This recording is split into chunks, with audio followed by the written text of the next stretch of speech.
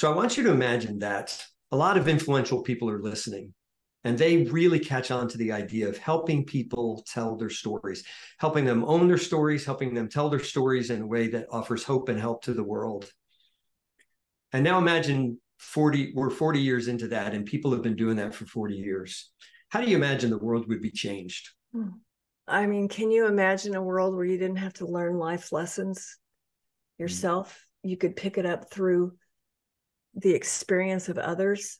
I mean, can you imagine a world where the pain and suffering that you're experiencing now could be exacerbated by feeling not alone? I don't think we'll ever stop having problems, but I think that they can be exacerbated by being in community with others. And that's what a book allows you to do. You may never know this person.